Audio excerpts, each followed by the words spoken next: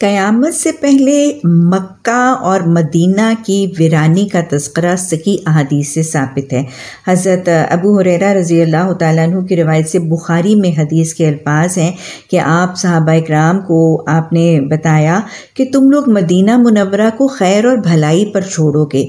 फिर आखिरी वक्त में ऐसा उजाड़ बियाबान होगा कि वहाँ वैशी जानवर दरिंदे और चरिंदे बसने लगेंगे और क़यामत के करीब कबीला मुजैना मदीना के दो चरवाहे मदीना मुनवरा में अपनी बकरियाँ लेने आएँगे तो वहाँ बकरियों के बजाय सब के सब वैशी जानवर पाए जाएँगे।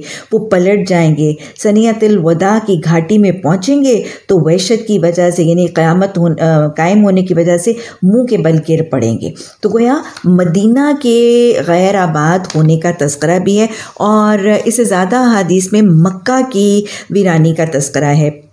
हज़रत अबू सईद रदी अल्लाह तु की रवायत से हदीस के अल्फाज हैं कि क़यामत कायम नहीं होगी जब तक कोई भी आदमी बैतुल्ला शरीफ का हज करने वाला नहीं रहेगा। यानी कोई शख्स ऐसा नहीं रहेगा जो खाना काबा का हज करे। मैंने अभी आपको बताया ना पहले भी कि किस कदर ला जो है, दीन से दूरी होगी और शिरक और कुफर होगा। और हदीस के अल्फाज हैं कि क़यामत बरपा नहीं होगी जब तक ज़मीन में अल्लाह अल्लाह कहना लोग लोग छोड़ देंगे। यानी अल्लाह का नाम, अल्लाह का दीन, अल्लाह के अहकाम कुछ भी नहीं रह जाएगा। तो बस फिर जब ये नहीं रह जाएगा तो फिर हज, उम्र, तवाफ़, ये भी सब कुछ ख़त्म हो जाएगा।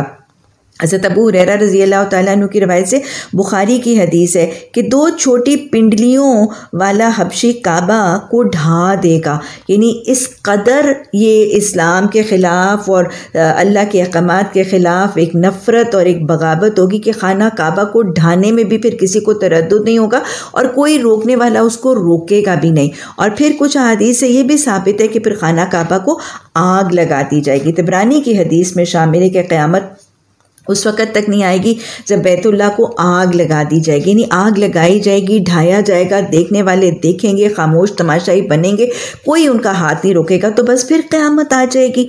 और फिर इसके बाद एंड में वो हदीस में एक आग के निकलने का तस्करा है, और ये सबसे आखिरी अलामत है। हज़रत सालिम बिन अब्दुल्ला रज़ी अल्लाह तु की रवायत से तिरमज़ी की हदीस है कि क़यामत से पहले हज़र मौत या बहर हज़र मौत की तरफ़ से एक आग निकलेगी, जो लोगों को जमा करेगी। सहाबा ने फरमाया कि उस वक्त हम क्या करें? आप अब में उसके लिए क्या हुक्म देते हैं? हमने फरमाया, तुम शाम में रिहाइश इख्तियार करना।